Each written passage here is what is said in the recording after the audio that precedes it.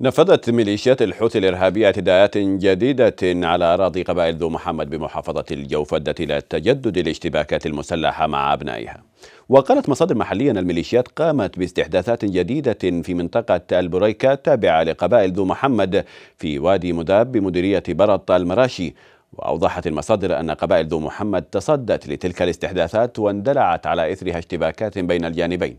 وكانت معارك عنيفة قد اندلعت الشهر الماضي بين ميليشيات الحوثي وقبائل ذو محمد إثر مساع حوثية للسيطرة بالقوة على وادي مذاب أحد أكبر الأودية الزراعية في بلادنا والواقع بين محافظتي الجوف وعمران. فيما قد دفعت الميليشيات عشرات الأسر من قبائل ذو محمد في وادي مذاب إلى النزوح القسري من منازلهم بعد تعرضهم للقصف الحوثي المكثف.